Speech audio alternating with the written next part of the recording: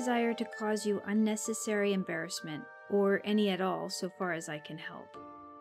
That's Gandhi from Letter in Young India, March 12, 1930.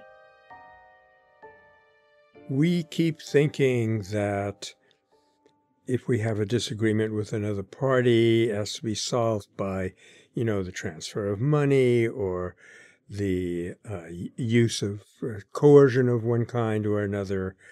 But Gandhi's key discovery was the need of every individual for dignity.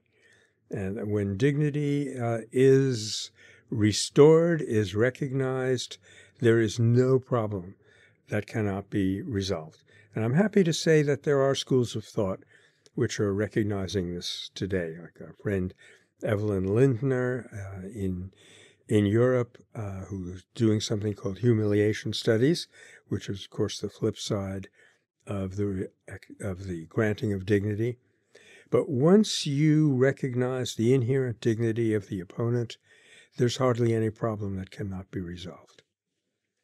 Another way of looking at that is when we think that a quarrel is largely about something external, it really is about our dignity and the dignity of the other.